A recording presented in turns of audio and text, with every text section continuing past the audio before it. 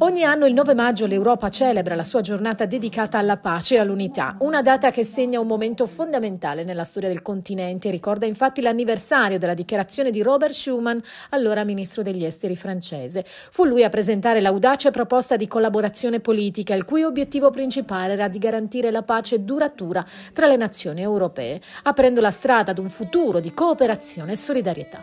A Nuoro per l'occasione il Centro Europeo di Formazione, con il supporto del Comune, e della Commissione europea ha organizzato una mattinata di lavori dedicata al tema. Ricordiamo la dichiarazione importante del ministro Robert Schuman della Francia che annunciava la creazione della prima diciamo, essenza, eh, la prima entità della Comunità Europea eh, e poi Unione Europea ai, ai giorni nostri.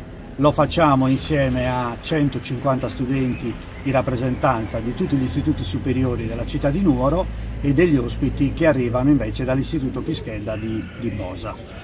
Nel corso dei lavori sono stati presentati i risultati di due progetti europei a scuola di Open Coesione e Nuoro for Europe. L'incontro ha inoltre offerto l'opportunità di riflettere sull'importanza e sul significato dell'Unione Europea nel contesto attuale.